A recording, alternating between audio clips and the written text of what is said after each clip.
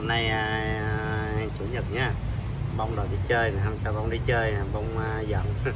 Mọi người thấy nó giận nó đây em rút cái đầu nó vô trong cái à, bánh xe nè. Đây đòi đi chơi nha không cho đi chơi nó lại giận nha. Đó, cái giận của bé bông rất là cưng luôn. À, còn đây là bé Julie nha.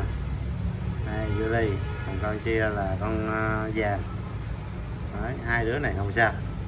Hai đứa này không sao nhưng mà riêng con uh, bông. Con đòi đi chơi nhưng mà không cho đi chơi nè. Nhìn cái mặt thấy cưng ghét.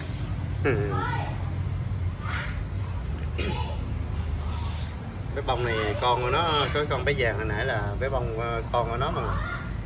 Này đút cái đầu vô đây nè. Đó. Tiền tiền thật hay gì đó. Ừ? tiền tiền thật hay gì. Không cho đi chơi hả? Không cho đi chơi, giận hả? Mọi người thấy nó giận rất là cưng luôn. Để mình quay ở trước cho mọi người xem đó, ngon rồi lúc qua. Rồi nó bỏ nó đi rồi.